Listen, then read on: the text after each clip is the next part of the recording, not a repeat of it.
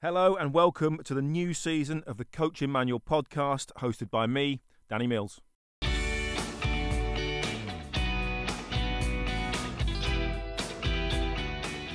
Today I'm joined by former Wimbledon, Tottenham Hotspur, Chelsea, Leeds United, Doncaster, and AFC Wimbledon goalkeeper Neil Sullivan. Neil made over 500 appearances as a professional and earned 28 caps for Scotland during his long career. He was also included in the Scotland 1998 World Cup squad in France, who opened the tournament against Brazil. Neil is now a goalkeeper coach at the Leeds United Academy. So, Neil, uh, absolutely delighted um, that you've come in. Uh, let, us take you back to beginning, um, not quite beginning of life, uh, but beginning of football. I suppose you know, again, like every kid playing grassroots football, what what got you into football?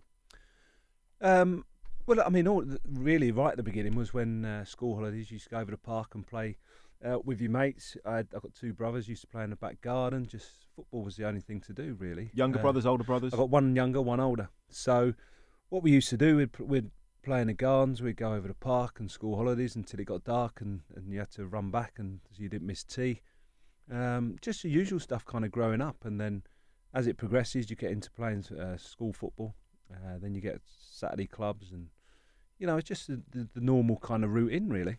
And, and what were you always a goalkeeper? Because that's that's why I mentioned your brothers. I was thinking if you've got two older brothers, they probably picked on you and made you go in goal. no, but but you're a big lad now. I'm assuming you're a big lad then, um, and you weren't going to get bullied by them to go in goal. No, no, we we just took it in turns. Really, I used to play out on pitch. I was a bit of a midfield dynamo for one of my teams, and then uh, and then realised running around was was was stupid. Really, so I went and uh, went and stood in goal and and uh, the teams I played for, the, the, the better sides, I was I played in goal, so I kind of stuck with that really. And then that took you through into professional football or, or elite level. Or what, what sort of what age did you get picked up? Um, well, that? it was different. They didn't have academies like they do now when they pick you up under six, under seven, and, and you go through and stay at one club. It was uh, very much a uh, played Saturday football team for my local borough, which was Merton Borough. I played in goal from there. I played for uh, Sunday football for my local team, which was Oakway Sports, which was uh, another local team, and I paid for uh, a pub team from Raynes Park, where I grew up with on a Sunday. So that was interesting when I was kind of 13, 14, 15 you playing to, you, had to, you had to stand outside afterwards, I take it. I wasn't allowed in, yeah, I wasn't allowed back in. But I played for them. That was interesting, like playing against a load of hungover men. That was that was that was quite a good uh, way into football. Um, but what it was, where I was playing for Merton Borough. We we had quite a good side. We had people like Graham Stuart was in our team, Jason Cundy was in our team, and we got to a few finals. And and uh, they were played at Plough Lane, which was the old Wimbledon ground. Uh, and I just got spotted there as a goalkeeper. And and from probably 14, 15, 16, I left school and went and done the YTS at Wimbledon. So quite quite late in in terms of this day and age of, yeah. of getting picked up one of the we spoke to uh, other players and stuff, and, and obviously the big thing now about is is kids overplaying. Mm. You know, like me, you, uh, Jonathan Green that we spoke to uh, recently. There was no such thing as overplaying. No. You you played morning, noon, and night. Mm. You know, and when you weren't playing with your mates, you were at home kicking a ball against the wall. Have we gone a bit too far in terms of overplaying at times? I think. Uh, the thing is, there's so many ways to measure overplaying now and fatigue, and you know they have a GPS. Everyone's got a GPS. I mean, I, yeah, you know what GPS? You just went over the park, ran. You got on your bike, went up to the park. Please, please don't it. tell me goalkeepers have a GPS on. No, no, thank goodness no, you're that. joking. No, no, I think there is a special one actually. They, they can tell how many hit, times you hit the floor and all that, but it's sometimes it can be too far. Uh, you know, when I, when you, you you were just wanting to play football. That was it. You was out in the back garden or you was out over the park with your mates. That was it. And and at some times I was playing four games over a weekend. So I'd play for my local side, my borough side on a Saturday morning. Then I'd um, play another game for school, maybe Saturday afternoon. Then I'd play Saturday, Sunday morning for Oakway, which was my local pub uh, club side. And then I'd go and play in the pub team. That's brilliant, isn't it? So that obviously you're, you're now 14, 15, 16 years old. You're, you're at Wimbledon. You go through that process, and then obviously you join the crazy gang full on. I mm. mean, that must have been incredible experience in many ways, uh, but but quite difficult as well, I imagine. It was it was tough, um, but it was brilliant at the same time. It, there was a lot. Go- there's always something going on there. but There was um, it was hard, and and you, you had to grow up. I think helping playing in the pub team with, with a load of hungover men was, was quite enlightening, and then going to Wimbledon and the Crazy Gang as an apprentice on the YTS was, was no different. it was similar. a few hangovers actually, but um, it was it, it was enjoyable. You know, it, it, was tough. You knew your place as a scholar, as an apprentice, um, the jobs you had to do, the the, the, the way you were treated, and. Um, and was um, Dave, Beasant was there? Dave Beasant was a goalkeeper. So I was I was there um, the year they won the FA Cup in 1988 was my second year as a scholar. So I joined as a pro that year. So 86 to 88, I was a I, I was not a scholar now. It was a YTS back then. Uh, and obviously, uh, you broke into the first team quite late. Quite I had I had one game uh, when I was 21. Uh, just played one game. Uh, then another one when I was 23. Which, which to put it in, in context, I, I, say back in the day, we're, we're actually not that old. Um, but when you when you go back, I mean, for, for young players to break in before 21, 2021 was quite unusual. You know, you, you had to be exceptional. You know, mm. okay, yeah. I, I, suppose Michael Owen, Robbie Fowler yeah. that was scoring goals. But in general, you all, it was always considered that getting into the first team was maybe 22, 23 sort of area. Yeah, pretty, yeah, pretty much. And, and and don't forget, you didn't have like an under twenty one side or an under twenty three side, which you do now, where where um, you get that progression through that, and you get a lot of games. You know, we were playing. If you weren't in the first team on a Saturday, you played in reserves on a Wednesday, and and that was made up of, you know, like senior pros who, who weren't getting a game and young kids who were coming through. So, the challenges of the game, the reserve games you were getting were, were I would suggest, a bit higher quality and a bit tougher because you were playing against seasoned pros. And how, how good were those goalkeepers that you worked with, and how much did you learn from them as a as a young player? You know, um, uh, Dave Beasant was obviously there. Hans Segers was there. Was yeah, then Hans Segers come in, and again, it, I mean, it's it's funny saying it now, but you know, goalkeeping coaches weren't invented back then. You you didn't have a, a specific goalie coach, a full time goalie coach, so you were just learning off each other, and you were watching people and uh, we had a goalie coach come in one day a week on a, on a Monday. Uh, his name was Alex Alex Walsh, and he, and he was very good. He taught me uh, the technical aspect of goalkeeping. Before then, you're just literally making it up as you go along. You you know, if a ball comes towards you, you try to catch it, and that was it. And then, you know, he came in one day so a week. It's a, it's a little bit harder than that.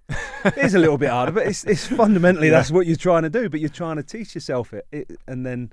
So a lot of it was self-taught. You know, yeah, well, it had to the... be because, like you say, there weren't you didn't have a, a, a full time goalkeeping coach. And, and how did it? I mean that that era that sort of huge crossover when the back pass was suddenly mm. outlawed. You know, now we're talking about sweeper keepers and Ederson, you know, bringing it down, chesting it down, volleying it out to, to wing backs and whatever. Frightening, yeah.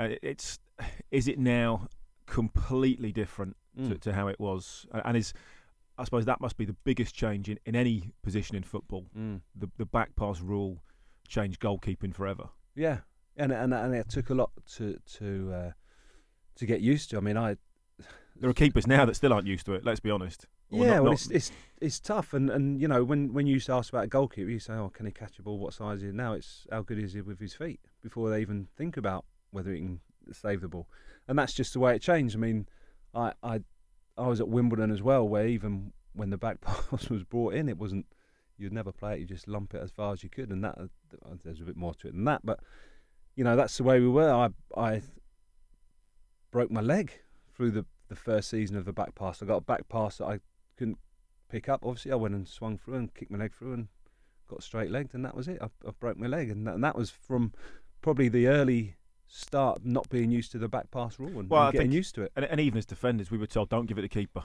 You know, yeah. you know, unless it's unless he's got 10 minutes of time uh, and you can play the perfect ball because also that the pitches I was just going to say the pitches were horrendous and yet, I know I think we all look back on old FA Cup videos especially that we see a lot of and you just look at that mud pit right down the centre of the pitch you know the goalkeeper was mm.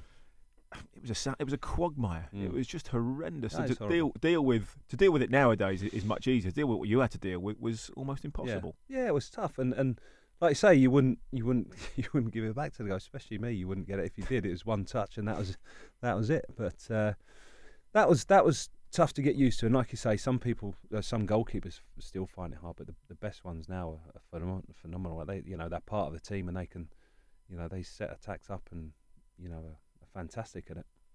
I, I don't want to give you cold sweats or whatever, but can't talk about Wimbledon days without talking about the Beckham goal.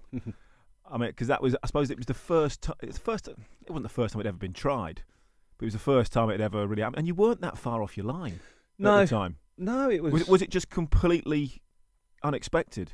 Yeah, yeah. It was. It was. I mean, it was the end of the game. I think we were two 0 down. It was literally in injury time, and we were seeing seeing the game out. And uh, yeah, as, soon as it come off his foot, you kind of go, "Oh, this is this is going to be close." This, um, but also realised I was nowhere near it anyway. If it was going to go in. Um, but yeah, it was. Uh, but I think being at a club like Wimbledon helped in many respects. We went in work on the Monday, and obviously I was getting slaughtered and didn't get a great deal of press. But you know, being at Wimbledon, they just hammered me, and that was it. And it helps you get over it. That's what I mean. It's like because it we, was we, tough, we've, but it was. we've seen a lot of similar goals since. Uh, David Seaman did it. I think it was Nayim, wasn't it? Yeah, Scored yeah. um, from even further out, Mm. and, and and actually, he had more opportunity to maybe stop it, um, and that sort of thing. You even had Ronaldinho in the World Yeah. Cup with, with David Yeah. Seaman, but they tend to get overlooked a little bit. Is, is it because yours was sort of like the first big goal on TV? Possibly, yeah, That, sort of like, and like I am now, still highlighting it. yeah. But it was, uh, and you know, in that era, it's a Premier League. It was newish, and you know, it's, it's just on its way up, really. And, and for something like that to happen at that time with that player as well, because you know he just burst onto the Yeah. scene. He was just on his way. So, you know, there was a lot of things going on with that At least, goal at least, at that least it's- time. at least it's not as bad as a Karius in Champions League final. yeah. or Hugo well, Lloris. mind playing in the Well, Champions yeah, League final. Hugo Lloris in a World Cup final. That, but he, they they got away with it, didn't they? But and, that's- and equally us, but you'd already lost the game anyhow. So Yeah, yeah, but yeah, that's the life of a goalkeeper, isn't it? you then went on to Tottenham. Uh, you know, a huge club at the time. Mm. Managers you worked under, George Graham, Glenn Hoddle. From what I know of them, I'm assuming they were complete contrasts in, in how they coached, how they dealt with players, uh, and, and their Mm. philosophies. Yeah, I, I actually um, really enjoy playing under George Graham because going from Wimbledon, where it was, I think on on the outside seems like it was a bit raggy ass, and every- it, it was still very disciplined in the way you had to act and perform and do your jobs and all that kind of stuff. And obviously going with to Spurs with with George, um, which was a massive club. I, you know, I'd, I'd been at Wimbledon for 13 years, left school at 16, left at 29. It was, you know, it was a massive change for me.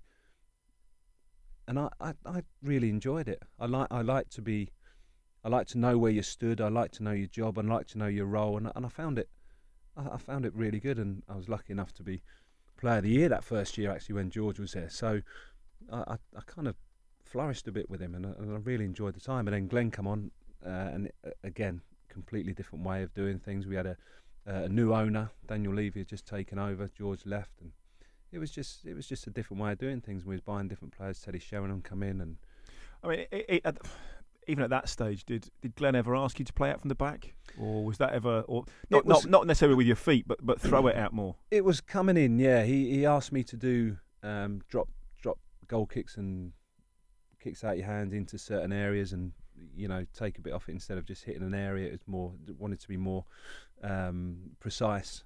Really, which to be honest, I struggled with. Well, if- if well, no, because. I, I played with Glenn for the under twenty one uh, during my time at the under twenty ones when he was senior manager, uh, and and he, and he asked me to do something sort of similar that I wasn't particularly comfortable with. I, I played the sweeper role. Mm. Uh, I wasn't great on the ball, but he gave me two simple jobs: either pass it ten yards into midfield and just give it to one of those, or ping the diagonal out to the wing Mm. back or, or the winger, because I could do that. And he said, and that's it. He said, that's all I want you to do. Uh, and again, so he, yeah, he was he was trying to evolve things, but he was Mm. still playing to my strengths, Mm. or you know, which, which worked for me. Yeah, yeah, and it, it like you say, it was that time where things were changing. The back pass rule, the the players that were coming in, there was a new way of um, just trying to change. He had, yeah, these definite ideas on football. You know where he come from, the kind of player he was. Um, you know, he was trying to change it, and you know that's what he, he tried to bring the players in at, at Spurs that would- that would do that with him. Because Tottenham have always had this great philosophy of actually they play skillful Mm. players, technique. Glenn Hoddle, Ossie Ardiles, Mm. you know, people they they, they epitomise that. Mm. Could you tell that was the philosophy at the club, and- and some of the younger players coming through were sort of were in that mould? Yeah, I mean, I mean, when I was Or, there, or- I mean, we or does it does it go a bit too far and it's maybe not as well, we we still had emotional as that? players like um, Darren Anderton was at the club. We had David Ginola at the club, who were fantastic players. Um, but we also had players like um, Les Ferdinand, who you know you, you're playing to his strengths. You're Yeah, getting yeah. balls wide and getting balls in the box. So it was a, a different way. And then when Glenn came in, he, he he brought people like Dean Richards, who wanted to kind of play out from the back a bit more. Uh, Teddy Sheringham, obviously he knew. So I think he was trying to do it in a in a more uh, slower way to, to get his style of playing. I, I think you know people will forget. You know, Tottenham were a huge club at the time. You, Mm. did you you played in the League Cup final? Yeah, yeah, we played against Blackburn. Yeah, yeah, we got beat uh, two one, I think it was. But Yeah. uh, tough to take. Did you you know? Should you have won it? You know, Black Blackburn were. I'm guessing at that time a top side. Yeah, yeah, they were a good side. Um, from the from what I remember, the game it's quite a close game. I think Andy Cole scored, might have scored a, a couple of goals. Um, but we've got in the, we played in the FA Cup semi final against Arsenal as well at Old Trafford, which was a another close game. So we were we were doing well, and that was under. I think that was Glenn's first game actually. I think George Graham might have got us to the semi final, and then Glenn came in. That was his one of his first games, and then we progressed. Like you say, the year after we got to another final. Um, but yeah, they were a good side. A lot of good players. A lot of good players in that team. So after obviously you've been through all the- you've been through Wimbledon, Tottenham, but then probably the, the best move that you ever had must have been to Leeds. Slight, slight, slightly biased here. Kind of, don't don't take that so seriously. Um, but of course, you know you, you, you came into to Leeds um, at a time when they'd been on a massive downer, Yeah, uh, and you were competing really with, with Scott Carson, a young a young Yeah. kid yeah. coming through that looked probably 35 at the time. Um, you know, and, and- and older than me. well, it, uh, yeah, and it, incredible. But you you weren't at Leeds that long, but good times there. Yeah, and also you've missed out a year at Chelsea as well, Of course, which, yeah. which you missed out after after Tottenham. Um, but yeah, I, I came up to Leeds. I think, like you say, they they'd just gone through a tough time. They just got relegated. Um, they had to get rid of a lot of players.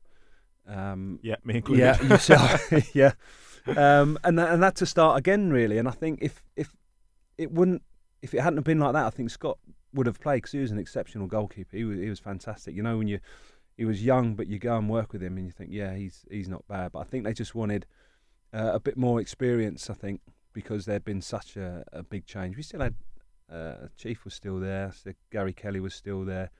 Um, there was a couple, but I think they just wanted a bit more experience just to Did settle you, things you, down. You get another Player of the Year. At Leeds, yeah, Yeah. my first year I did there, yeah, yeah, yeah. I mean, so That's you- that's how busy I was.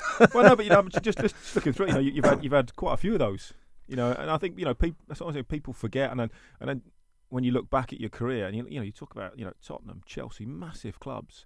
Scotland, you know, when they were good at the time, you know, Leeds, but you know, done exceptionally well at those clubs. Playoff finals, Mm. disappointment of that. I mean, is that Disappointing. Yeah. Is that one of the hardest games to lose? The the championship, Yeah, yeah, playoff final. yeah, th- yeah, horrible, horrible. Because uh, you know you spend all that season trying to get in there, and then once you're in there and you get to the final, you you it, you know it takes over your summer, and you know all the expectation, and, and to be honest, the way we lost as well w- is, was disappointing. You know, we, It's such a huge game. I mean, it's I, massive. I, obviously, I, I played in the 98, 99, 98, 99, 98 Mm. final. Um, and obviously, Sasha saved the penalty Yeah. that Mickey Gray missed. Worst penalty on the planet. yeah, But remember it. Sasha became a hero, Mm. you know, for basically the ball hitting him. Yeah, But it changed my career. And Mm. that, I mean, the championship playoff is just incredible, isn't it? yeah. Everything that's wrapped around it. again the build up and you know the the money that's involved um it would have it would have changed Leeds' direction I think the, the way that the club they are now is if we would have got up uh, got into the Premier League with the money and you know who knows what might we might have got relegated and come straight back down but you know just having that year in the Premiership would have could have changed the way or where Leeds are now And then after Leeds, you, you moved on to Doncaster. Uh, had quite a lot, quite a long time there. Mm. in all honesty. Um, again, promotions, playoffs. Yeah. But a, a, a different type of club, different situations compared to what you were used to. Because you've been at a lot of big clubs, and although Leeds were, Yeah. were were down a couple of divisions, they're still a big club. Yeah. at the time. Doncaster was probably the smallest club that you paid for. Yeah, but still with big ambitions. You know, when we were, um, I went there. Things weren't working out again. New managers and new owners and different ideas, and so I just wanted to play. Really, that's that's all I've wanted to do. And, and Donny came in with big ambitions, and we was in League One, but got promoted and won the the Johnstone's Paint. It's it's different, but the um, the ambitions are still big for a club like Donny. So if you're helping them, and to get a club like Donny into the Championship and stay there um, was quite an achievement. It was similar, kind of similar to Wimbledon. Really, we were a bit unfashionable. We were Kinda how, maybe how, how, how sweet was that playoff success? against Leeds. Yeah. It, it wasn't sweet. It No? because I, no, I mean I had a great time at. I, I enjoyed. it. I mean it finished a bit strange, but I, I, I likely. I, I mean I'm, I'm back there now, Yeah. as I'm sure we'll touch on with the coaching. There's a, there was a lot of good people then.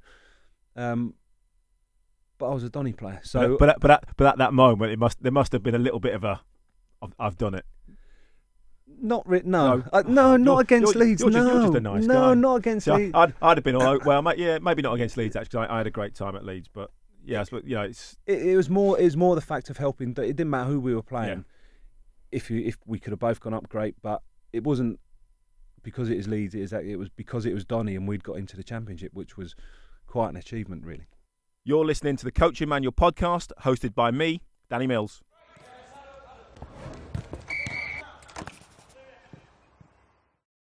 So you, you touched on it now. You've, you've now gone.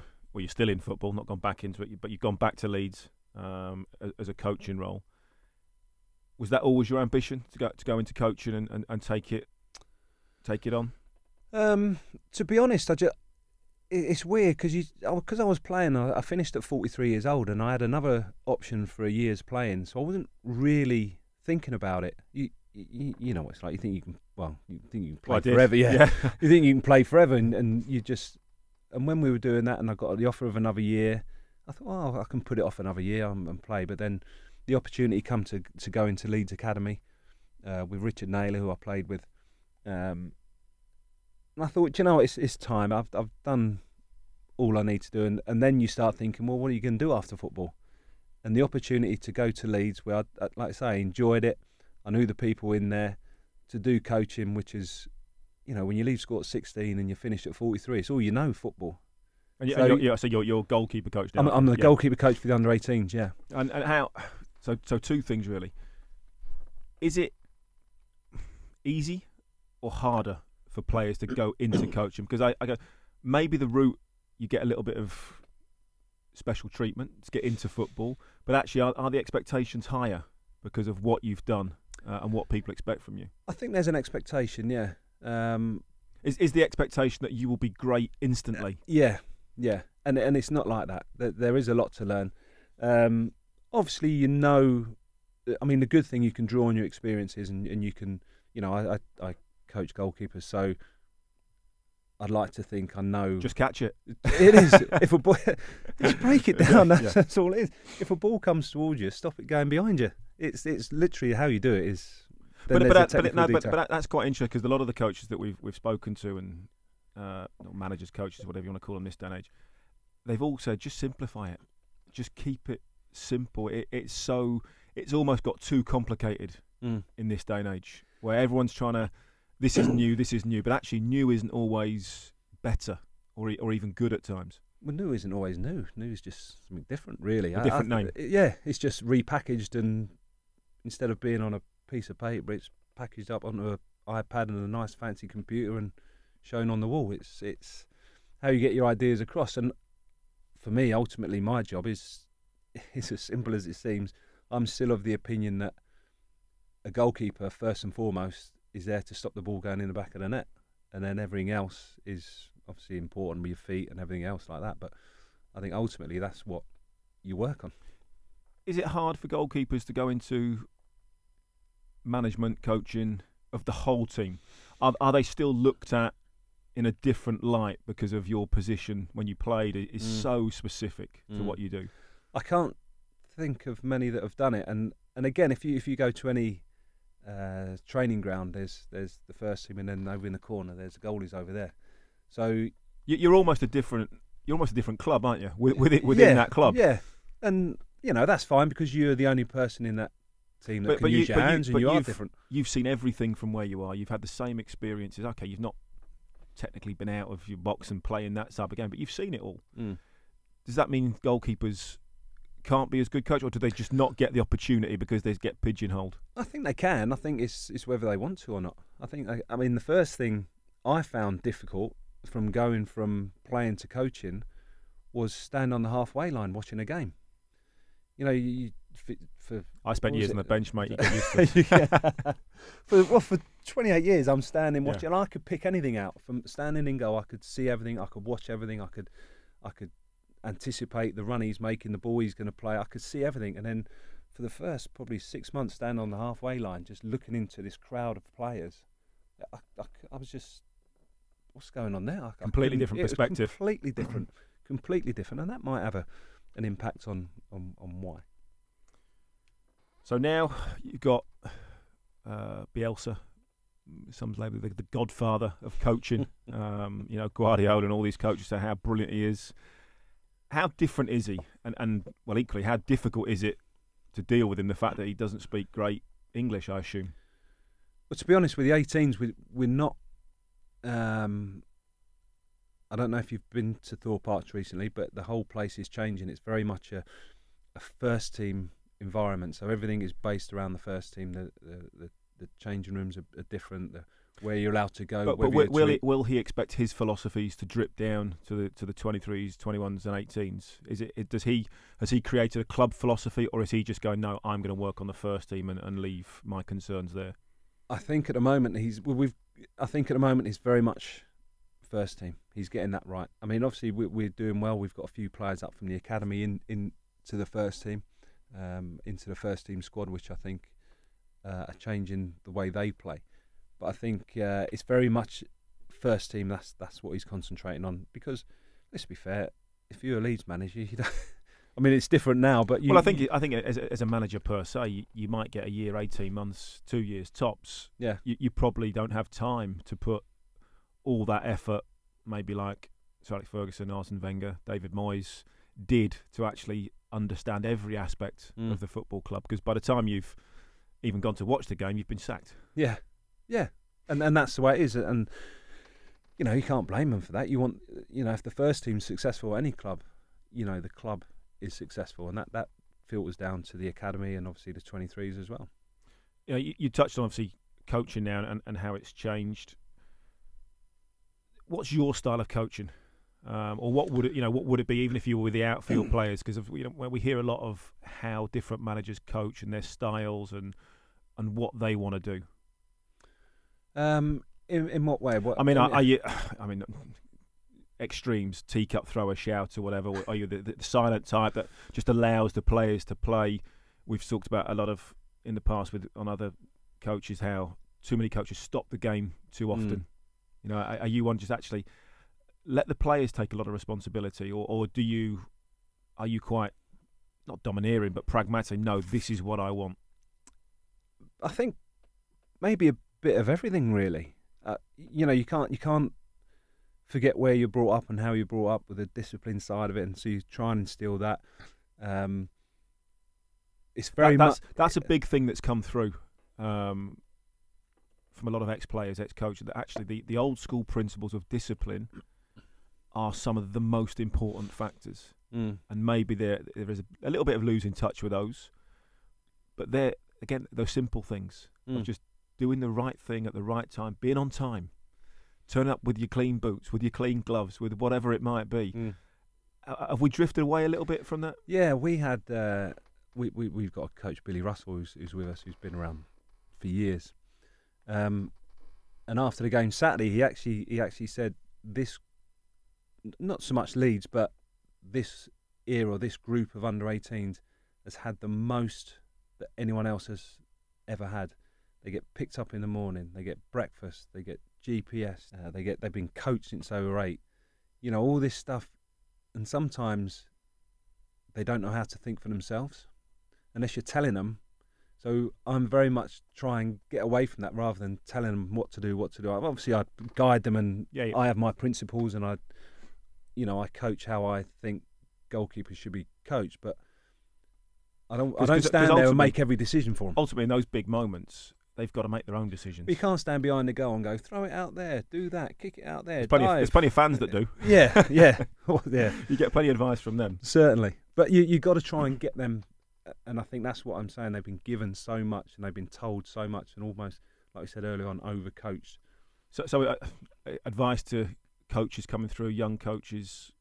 I'm guessing keep the sessions simple, give them guidelines, but let them think for themselves. Mm. It's, yeah, it's important. I mean, you you got to have your own set plays, and you got your set patterns and how you play. But sometimes the best sessions you get is when you just sling them a ball and step back and watch them, and see how they get on. Like going over the park with your mates. You Yeah. just had a ball and you used to play and you used to work it out for yourself, When it's fun and it's fun. and yeah, enjoyable. exactly. And, yeah. and, and is, is that sort of that last? Is, is that the biggest thing? If sessions are fun, enjoyable, the sessions better, the players work harder. So if you can make those sessions, yes, informative, but fun and enjoyable, you're going to get a lot more out of it. You'll you'll learn more if you're having fun than if, if someone's just on it, yeah, on it, yeah, and you, you lose concentration. But if it's fun and enjoyable, you you're bound to whether you think you are or not, you'll take more on. Perfect, brilliant. So all you coaches out there, make sure it's fun. Make sure the kids enjoy it. That's the most important thing. So lastly, now just a few quick fire questions. Uh, can be as short as answers as you Mhm. like.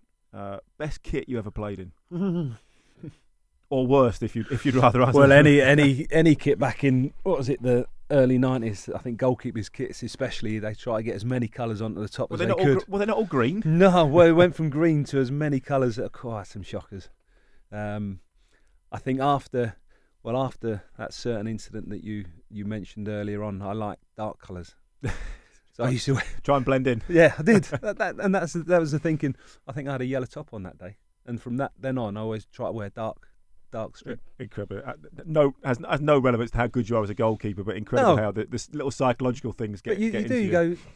Did he know where I was because I had a yellow top on? So if I had a black top on, would he have known where I was? Would he have done that? See, if you'd been Don't know if you'd have been green, you'd have been you'd have been hidden. exactly. Back to the old school. See. There, there might be a few of these. Uh, bearing in mind you at the the crazy great uh, Crazy Gang. Uh, funniest thing you've seen on a training pitch. Mm, that you can mention. Keeping it broadcastable. Mm. Uh, well, you played with Ben Thatcher, so Yes. you you know uh, what he was like. Um, Wimbledon was, was brilliant. Going from setting John Hartson's suit alight and nearly burning the training ground down. We had to sling it out. It's- Everyone's seen the, the TV programs of That, that, that'll that- do. You could you could end there. dragging Sam Hammam through a massive puddle. who, who was Um, the owner? owner. Yeah, Who was the owner, owner. chairman. I mean, ima- imagine the Um, City lads. Imagine the Man City lads doing that now that- to Sheikh Mansour. just for the just for the sake of it, yeah, just because he happened to be there. Um, watching a a naked player run back to the training ground through Wimbledon Common because it's his birthday and been stripped naked. Um, Probably slightly get arrested for that. Yeah, days. yeah, he probably would. Yeah, that was before mobile phones. You could film it. Worst dressed teammate, apart, apart from the naked one. uh, at Donny, we had a guy called Adam Lockwood. He wasn't. He wasn't the best. Most underrated teammate that you played with. Yeah. Um, I think there was a at Wimbledon. We were quite underrated anyway. We had a, a, a centre half. You probably know him, Chris Perry was a centre half. Um, I mean, to be fair, he got a move to Spurs and then was playing next to Sol Campbell, so maybe not got the credit. But he was horrible to play with, uh, play against. You know, all over. Not the biggest, but always on you, always nicking the ball. And we had a guy uh, just just left Wimbledon. Actually, the, the the manager Neal Ardley played wide right. So Well, you went to Wimbledon, didn't you? Sort of right at the end of your career. yeah, I, I went on loan when when when they were they were struggling, and he, he just again he just needed a bit of experience really.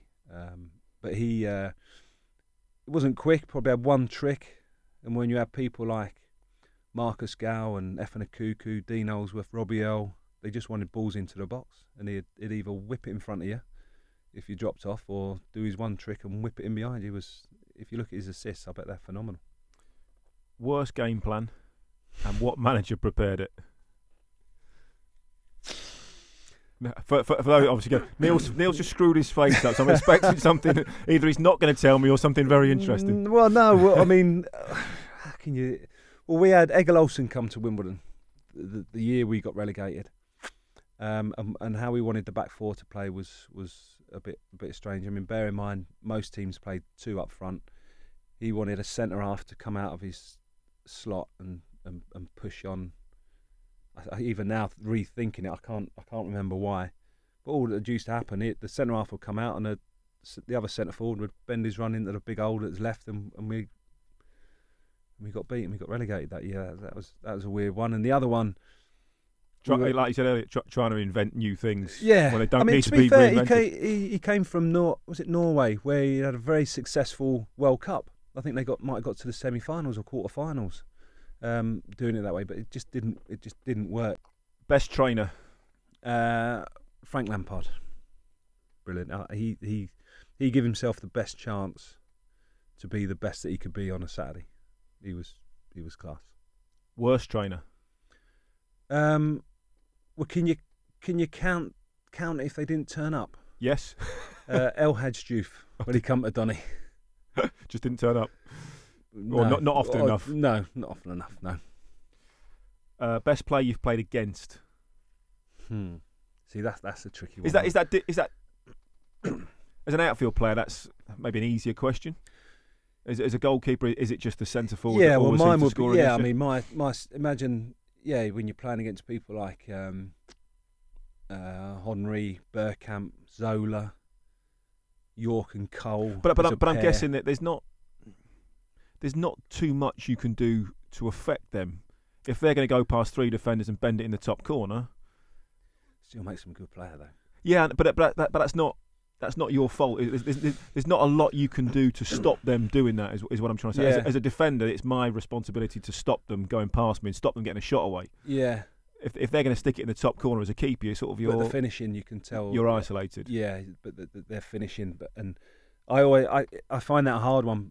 But I always say Yorke and Cole as a partnership, their movement and, and the way they move was was Rob, Rob. Robbie Fowler. Yeah, the ball dropped to him in the Yeah. box. He scored, but I'd I'd probably say I was lucky enough to play against Zidane just after they won the World Cup for Scotland, and I mean he'd done a trick on the halfway line, and the whole stadium went for it. I think he was. He's not he's not not, not bad, was he? he, he was he was I mean he, you know you you just sit, again what looking up the pitch and you can see his movements see that just little silly little touches and movements and that it was you know it's, I think that's hard to disagree brilliant. with. Is, is Zidane the best, one of the best players of all city? it weren't bad but then you're comparing with people like Henry and, Yeah. and Zola and Bergkamp and Di Canio I mean it's Proud, proudest moment in football. I think I got probably the three the, the two you touched on the two player of the years with with uh, Tottenham and and uh, Tottenham and Leeds you know n- knowing the whole season's work has, has has gone you know rewarded that that was very proud and of course the first Scotland Cup against the best team ever Wales But, but you're in the squad for Brazil. Best coach you played under and why? I, again, we touched on it early on. I like I like George Graham because I like the way, again, coming from Wimbledon where it was, you knew exactly what you were doing, you know, and it was it was great fun and it was relaxed. It's going into that disciplined way of playing and, and what he did and, and how he wanted you to play. It kind of suited me. And and again, Organisation, The- simplicity, discipline. Discipline. Don't, o- don't- old. you know all that Hang kind of stuff. I, I, I say old school values, but they shouldn't be old. They sh- they should just be. Values. They're just good values, aren't they? yeah, Simple as that. yeah. Uh, and- last one. Have you ever used your name to get in anywhere? Front, front of a queue, restaurant? Probably. uh, yeah, probably. Why not? Uh, I'm just trying to think of one where. Yeah, Jo- I- I Jo- John Green. have. John Green was brilliant. Said every single time I can, the Champions League medal comes out. I'll, I'll use it for anything. See, I've not got one of them, so I can't. No, I haven't either. Right, that's brilliant. Uh, thanks ever so much, Neil, for No joining problem.